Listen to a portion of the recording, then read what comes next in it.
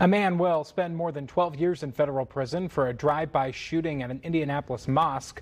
Jonathan Warren says he sent several threats to Majid and Majid mosque over four months in 2020. He also admitted to two drive-by shootings, including one at the mosque and another at a person's home. After time served, he will spend about five years on probation. The Council on American Islamic Relations welcomed the sentence, saying in part, quote, this strong sentence as a clear is a clear indication that attacks on minority faith communities will not be tolerated and the perpetrators will face justice.